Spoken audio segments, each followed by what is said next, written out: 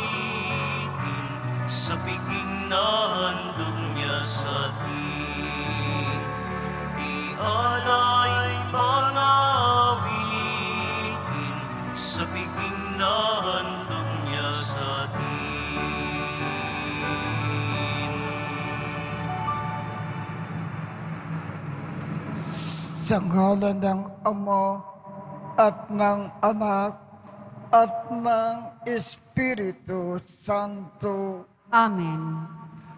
sumainyo ang Panginoon. At sumaiyo rin. Aminin natin ang ating mga kasalanan upang tayo ay maging marapat gumanap sa banal na pagdiriwang.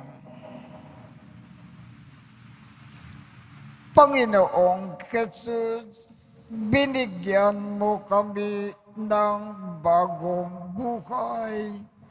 Panginoon, kaawaan mo kami. Panginoon, kaawaan mo kami. Panginoong Jesus, pinapatawad mo ang aming mga kasalanan. Kristo, kaawaan mo kami. Kristo, kaawaan mo kami. Panginoong Jesus, binabakagi mo sa amin ang iyong katawan at dugo sa Eucharistia. Panginoon, kaawaan mo kami. Panginoon, kaawaan mo kami. Kaawaan tayo ng Diyos amang makapangyarihan. Patawarin ang ating mga kasalanan at patnubayan tayo sa buhay na walang hanggan. Amen. Manalangin tayo.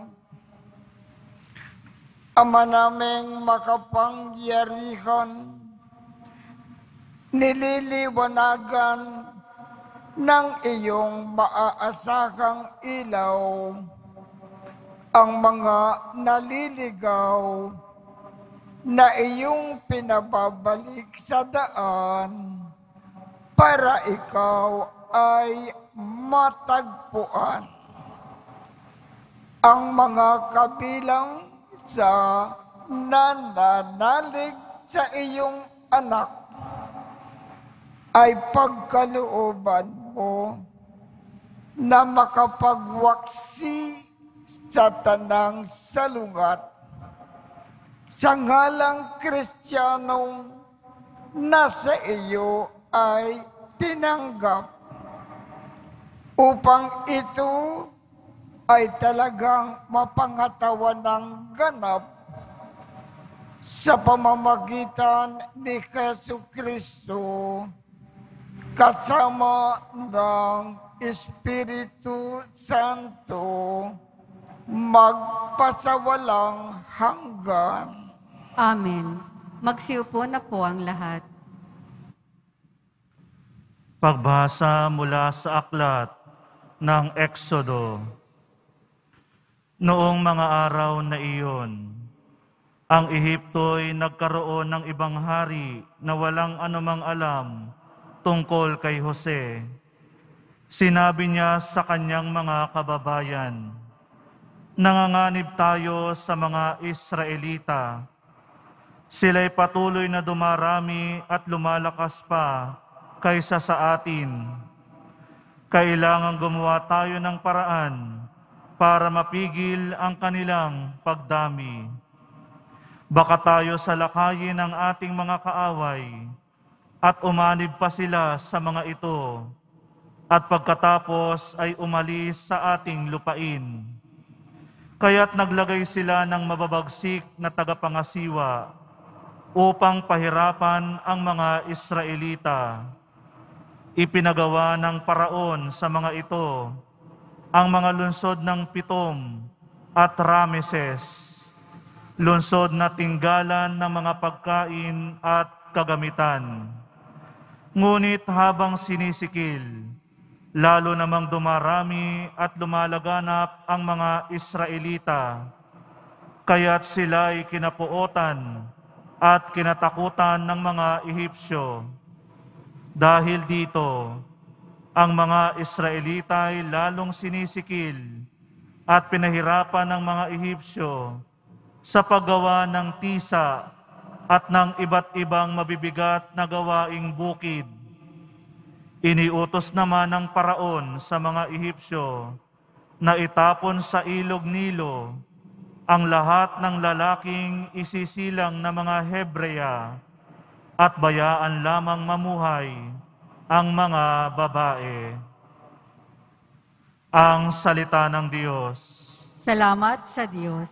Sa pangalan ng may kapal, tayo ay tinutulungan. Sa pangalan ng may kapal, tayo ay tinutulungan. Ano kaya't di pumanig sa atin ang Panginoon? O Israel, ano kaya ang sagot sa gayong tanong? Kung ang Panginoong Diyos sa amin ay di pumanig, noon kami sa lakayin ng kaaway na malupit, maaaring kami noon ay nilulunan ng buhay sa silakbo ng damdamin at matinding kagalitan. Sa pangalan ng may kapal, tayo ay tinutulungan. Maaring kami nooy natangay ng iyong agos, naanod sa karagat at tuloy-tuloy na nalunod. Sa lakas ng agos, nooy nalunod nga kaming lubos. Tayo ay magpasalamat, ang poon ay papurihan, pagkat tayo'y iniligtas sa malupit na kaaway.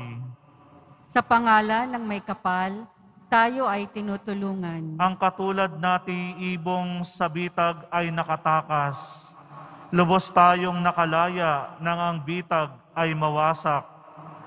Tulong nating kailangan ay sa poon nagmumula, pagkat itong lupat langit, tanging siya ang lumikha.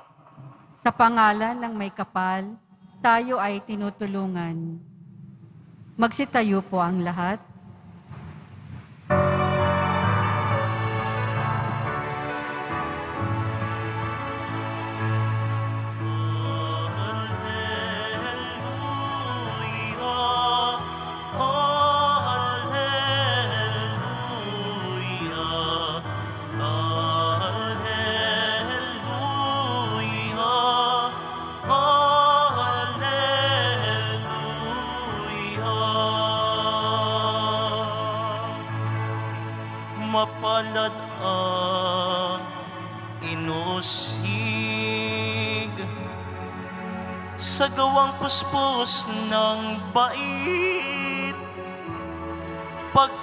Pagkat may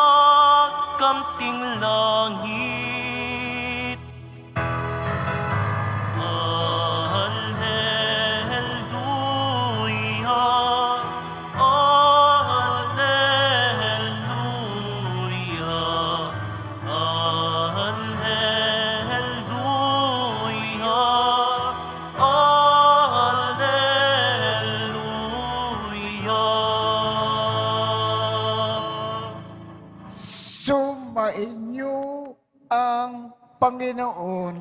At sumaiyo rin. Ang mabuting balita ng Panginoon ayon kay San Mateo. Papuri sa iyo, Panginoon. Noong panakong iyon, sinabi ni Jesus sa kanyang mga apostol, Huwag ninyong isipin na naparito ako upang magdala ng kapayapaan sa lupa. Naparito ako upang magdala ng tabak, hindi kapayapaan. Sapagkat naparito ako upang papaglabanin ang anak na lalaki at ang kanyang ama. Ang anak na babae at ang kanyang ina. Ang manugang na babae at ang kanyang biyanang babae. At ang kaaway ng isang tao ay ang kanya na ring kasambahay. Ang umiibig sa ama o sa ina ng higit sa akin ay hindi karapat dapat sa akin. At ang umiibig sa anak na lalaki o babae ng higit sa akin ay hindi karapat dapat sa akin. Ang hindi nagpapasan ng kanyang krus at sumusunod sa akin ay hindi karapat dapat sa akin. Ang nag-iingat ng kanyang buhay ay siyang mawawalan nito at ang nawawalan ng kanyang buhay dahil sa akin ay magkakamit nito. Ang tumatanggap sa inyo ay tumatanggap sa akin at ang tumatanggap sa akin ay tumatanggap sa nagsugo sa akin. Ang tumatanggap sa isang propeta dahil sa siya ay propeta ay tatanggap ng gantimpala ukol sa propeta. At ang tumatanggap sa isang tao na matuwid dahil sa siya ay matuwid, ay tatanggap ng gantimpalang nauukol sa taong matuwid. At sino mang magbigay ng kahit isang basong tubig na malamig sa isa sa maliliit na ito. Dahil sa ito ay alagad ko, tinitiyak ko sa inyo, tutanggap siya ng gantimpala. Matapos tagul-bilinan ang labindalawang alagad, umalis si Jesus upang magturo at mangaral sa mga bayang malapit doon. ang mabuting balita ng Panginoon. Pinupuri ka namin, Panginoong Heso Kristo. Magsiupo na po ang lahat. Ang pag-uusapan natin ngayong umaga ay itong sinabi ng Panginoon ang nag-iingat sa kanyang buhay ay siyang mawawalan nito. At ang nawawalan ng kanyang buhay dahil sa akin ay magkakamit nito. Ano ang ibig sabihin ng ating Panginoon? Kung habang nabubuhay tayo dito sa lupa, ang ating iniisip lagi ay ang ating sariling kapakanan at hindi natin iniisip ang kapakanan ng iba. Sa madaling sabi, lagi tayong makasarili. Ang mangyayari sa atin maraming mawawala sa atin. Hindi gaganda ang ating buhay sa lupa. At hindi tayo tatanggapin sa kaharian ng Diyos sa kabilang buhay. Subalit, kung habang nabubuhay tayo sa lupa, alang-alang sa ating Panginoon, kinakalimutan natin ang ating sarili. Lagi tayong naglilingkod sa iba. Lagi tayong tumutulong, lalong-lalo na sa mga nangangailangan. Walang tigil tayong nagkakawang gawa. Magiging magandang maganda ang ating buhay sa lupa. Laging maayos at angat na angat. At pagkatapos ng ating buhay sa lupa, tatanggapin tayo kaagad sa kaharian ng ating Panginoon sa kabilang buhay. Kaya, kalimutan lagi natin ang ating sarili at alang-alang sa ating Panginoon. Lagi tayong magmahal ng kapwa at maglingkod lagi-lagi sa iba.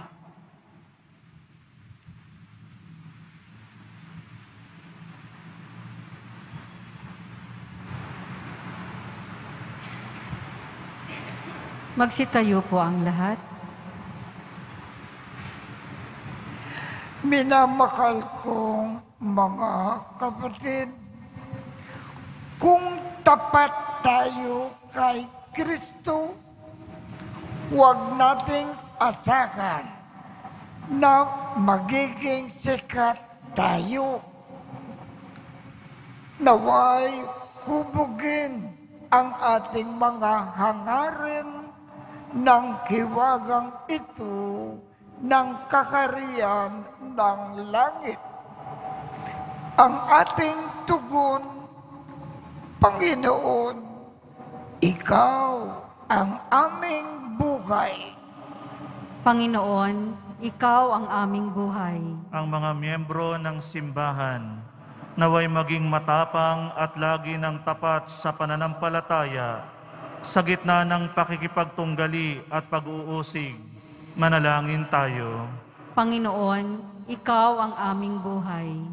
Ang mga magulang naway magkaroon ng lakas at tapang upang gabayan ang kanilang mga anak sa daan ng pananampalataya at kristyanong pamumuhay. Manalangin tayo. Panginoon, Ikaw ang aming buhay. Ang mga kabataan naway magkaroon ng lakas na mapaglabanan ang impluensya ng kasamaan.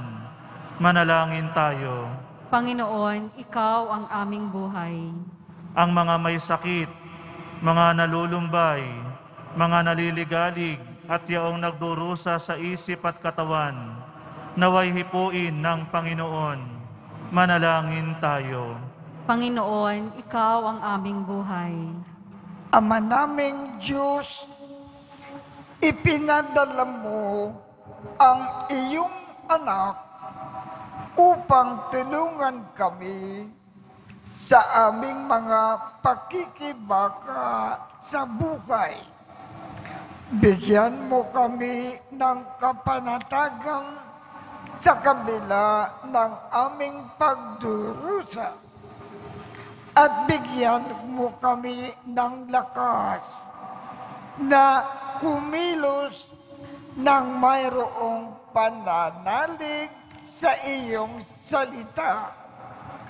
Hinikiling namin ito sa pamamagitan ni Kristo na aming Panginoon. Amen. Magsiupo na po ang lahat.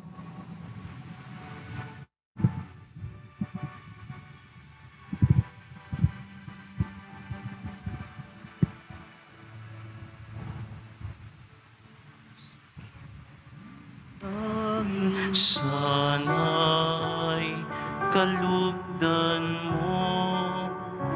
Isang bayan na nagpupug ay nagmamahal sa'yo.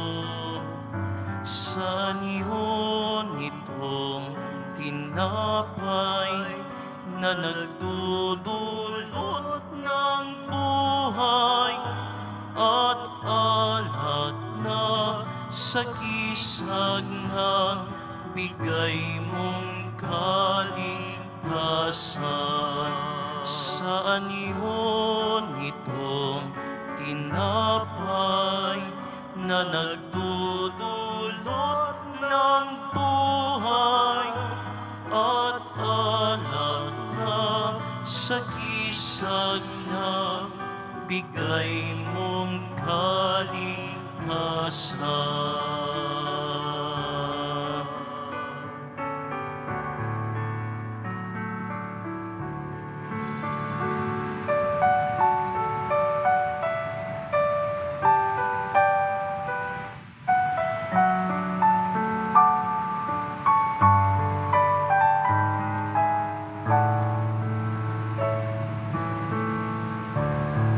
Magsitayo po ang lahat. Manalangin kayo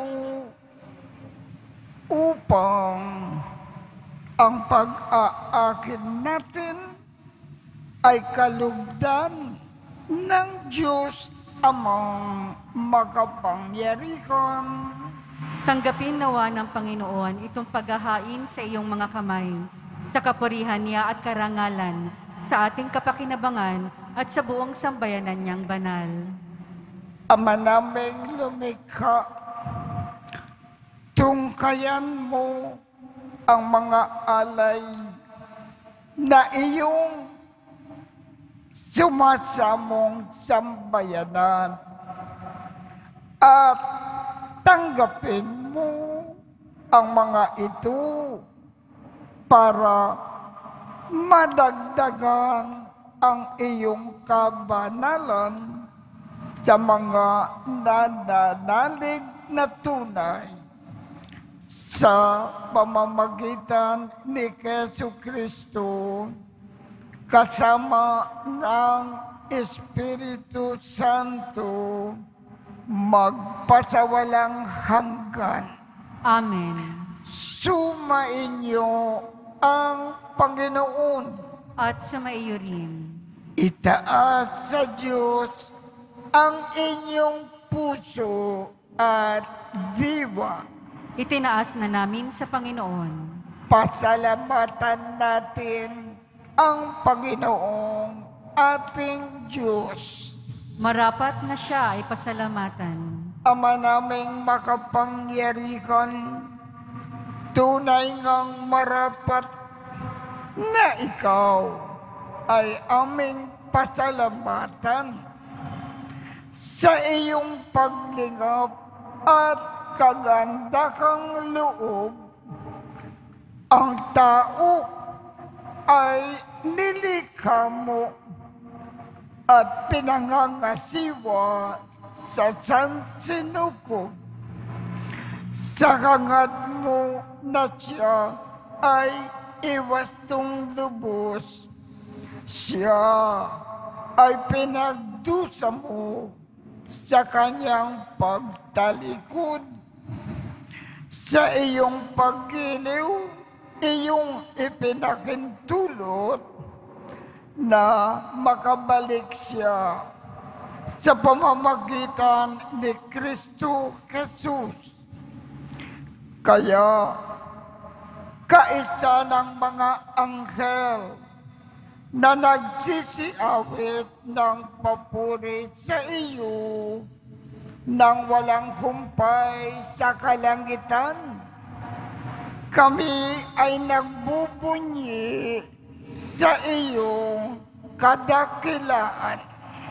Santo, Santo, Santo, Panginoong Diyos ng mga hukbo, napupuno ang langit at lupa ng kadakilaan mo, o sana sa kaitaasan. Pinagpala ang naparirito sa ngalan ng Panginoon, o sana sa kaitaasan. Magsiluhod po ang lahat. Ama naming banal, ikaw ang bukal ng tanang kabanalan. Kaya sa pamamagitan ng iyong espiritu, gawin mong banal ang mga kaloob na ito upang para sa amin ay maging katawan at dugo ng aming Panginoong Keso Kristo.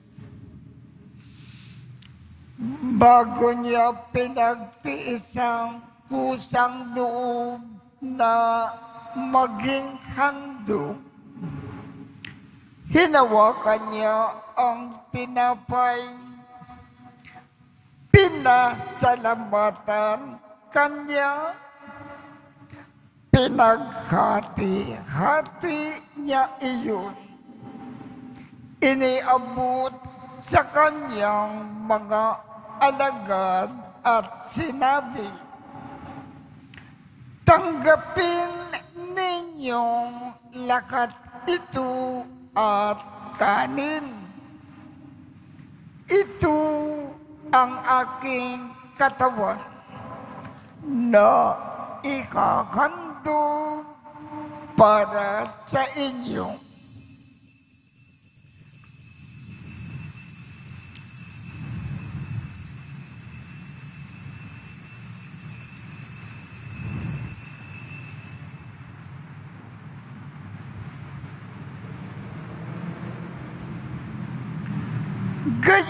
Din naman, noong matapos ang hapunan, hinawakan niya ang kalis. Muli kanyang pinasalamatan. Iniabot niya ang kalis sa kanyang mga alagad at sinabi, Tanggapin ninyong lakat ito at inumin. Ito ang kalis ng aking dugo ng bago at walang hanggang tipan. Ang aking dugo na ibubuhos para sa inyo at para sa lahat sa ikapagpapatawad ng mga kasalanan. Gawin ninyo ito sa pag-alaala sa akin.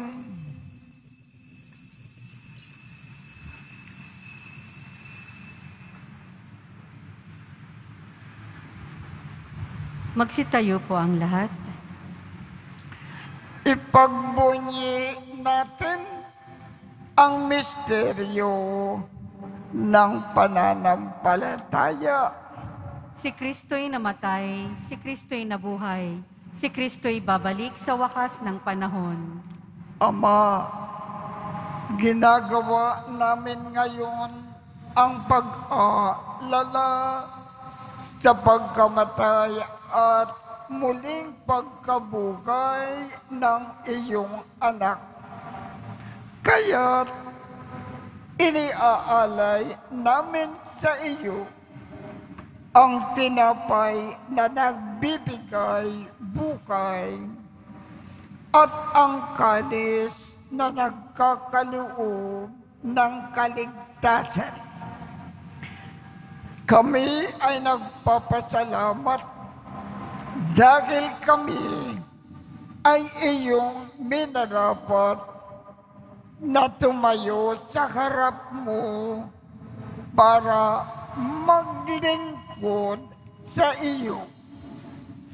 Isinasamo namin kami magsasalo-salo sa katawan at dugo ni Kristo ay mabuklod sa pagkakaisa sa pamamagitan ng Espiritu Santo.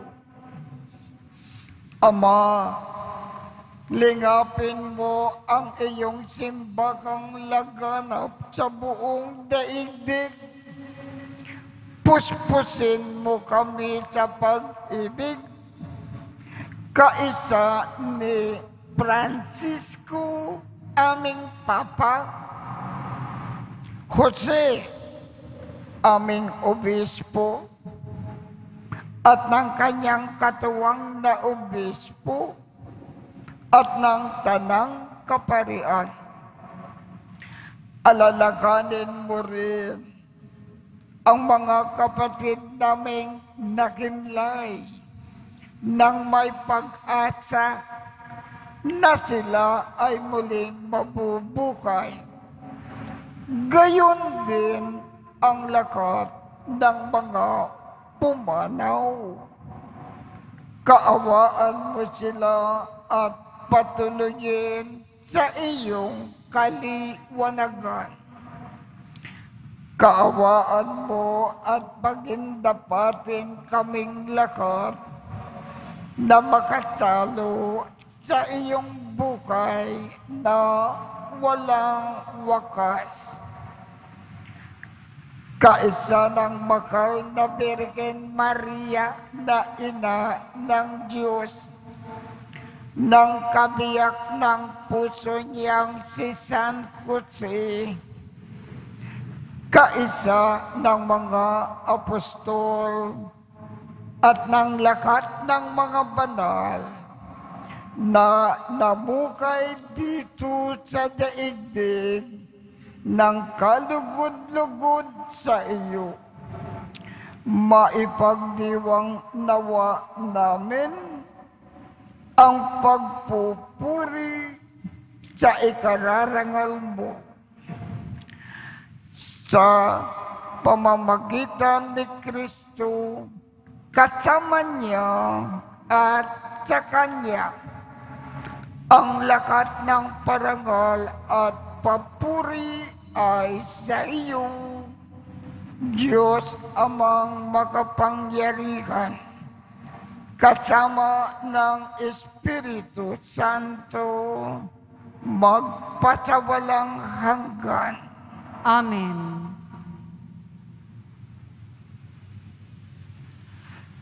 sa tagubilin ng mga nakagagaling na utos at pagturo ni Jesus na Panginoon natin at Diyos, ipakayag natin ng lakas loob.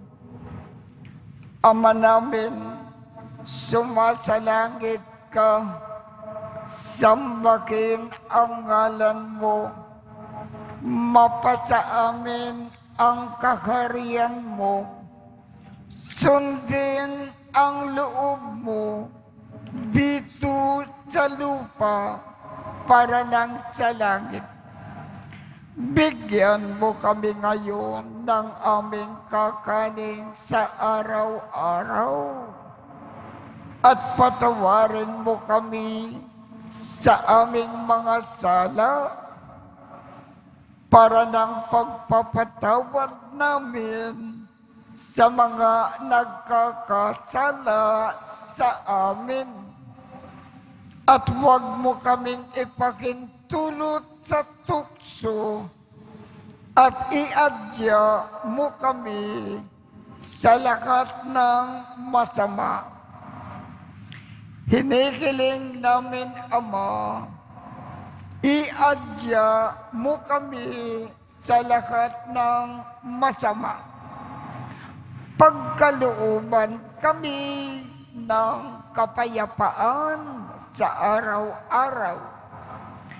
Iligtas sa kasalanan at ilayo sa lahat ng kapakamakan samantalang aming pinananabikan ang dakilang araw ng pagpapakayag ng tagapagligtas namin si Yesu Kristo.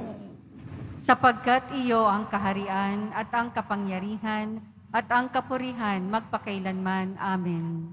Panginoong Yesu Kristo, sinabi mo sa iyong mga apostol, kapayapaan ang iniiwan ko sa inyo.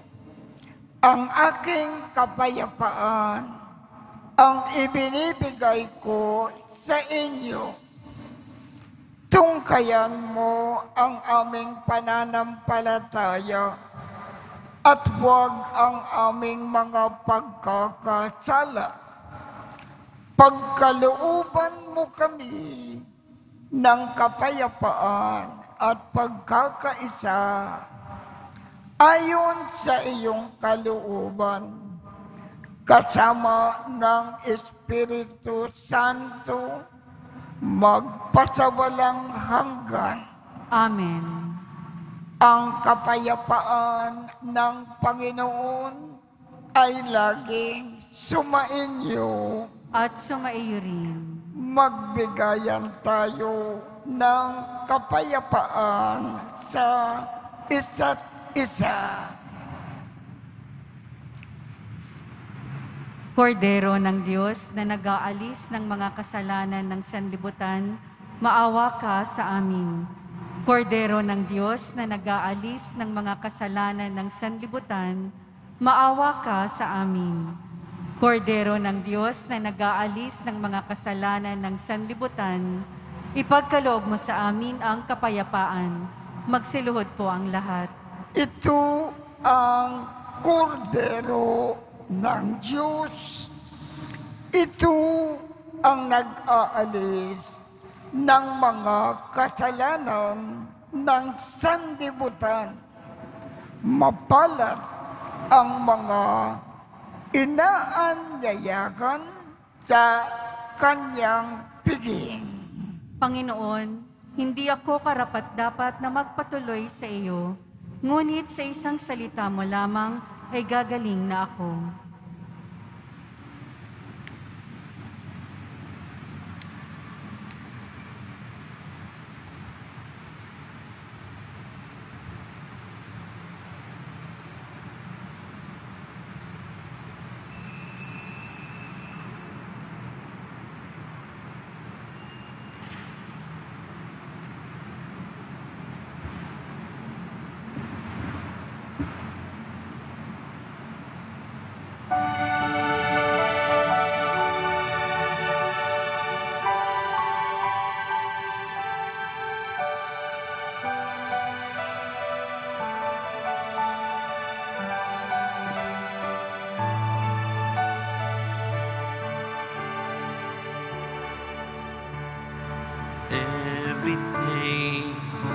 I sing to you with all my heart. Hear my prayer. I raise them all into your hands.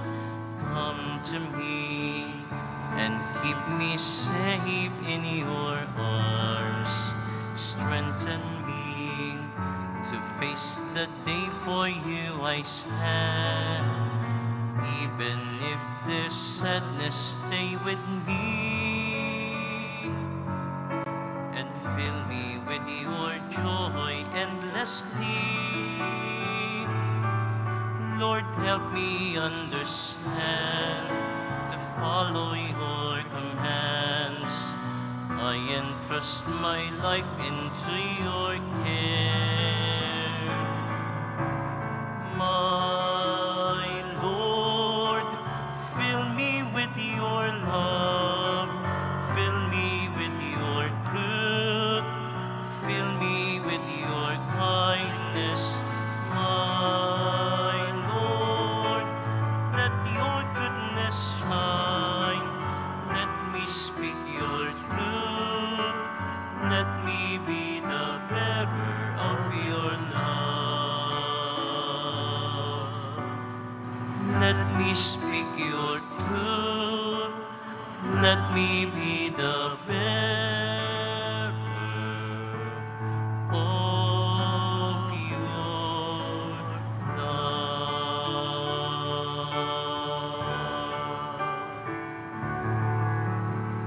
Magsitayo po ang lahat.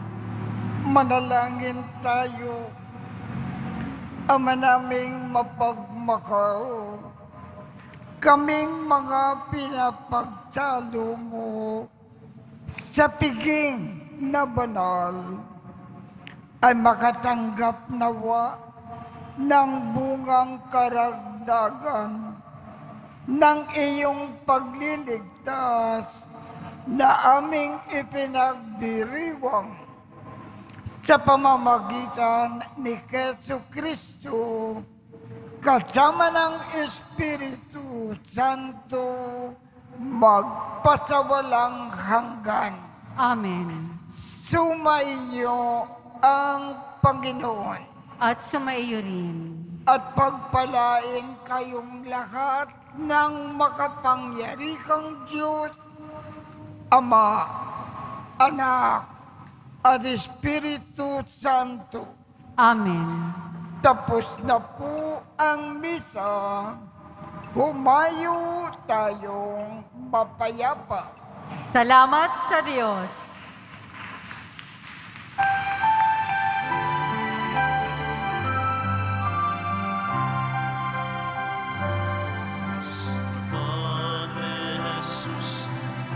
Nazareno, sinasamba ka namin. Pinipinto ka namin. Aral mo ang aming buhay at kaligtasan. Nuestro Padre Jesus Nazareno, iligtas mo kami sa kasalanan. Ang krus mong pinamatayan ay sagisag ng aming kaligtasan. Nuestro Padre Jesus Nazareno,